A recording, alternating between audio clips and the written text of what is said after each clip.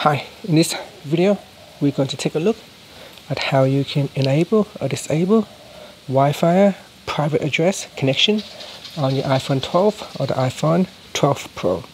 So first let's go back to your home screen by swiping up at the bottom of the screen. Then we're going to tap on settings. In settings, go down and tap on Wi-Fi. Next, tap on the Wi-Fi network that you have connected to.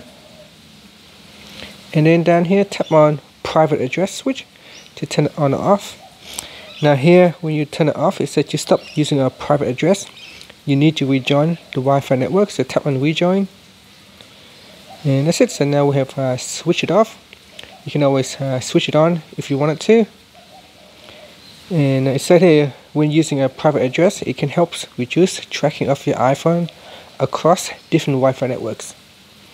And that's it. Finally, you can tap on the back key to go back to your settings page or you can swipe up to go back to your home screen.